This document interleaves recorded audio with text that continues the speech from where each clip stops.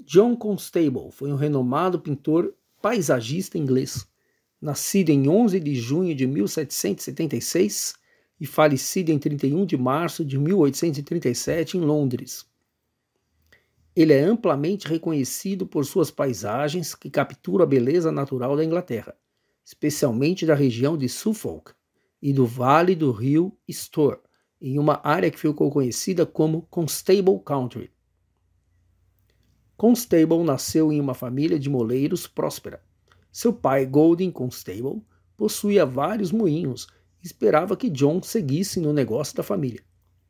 No entanto, Constable demonstrou interesse precoce pela arte e, com o incentivo de amigos e familiares, decidiu perseguir sua paixão pela pintura. Em 1799, Constable engrossou na Royal Academy of Arts, em Londres, onde estudou e desenvolveu suas habilidades artísticas. Influenciado por artistas como Thomas Gainsborough e Claude Lorrain, Constable desenvolveu um estilo distinto, caracterizado por um uso vibrante da cor e uma atenção meticulosa aos detalhes da natureza. Entre suas obras mais famosas estão The High Wine, 1821, Dedham Valley, 1802, Salisbury Cathedral from the Meadows, 1831. The High Wine é talvez sua pintura mais icônica, retratando uma cena pastoral com um carro de feno atravessando um rio em um dia ensolarado.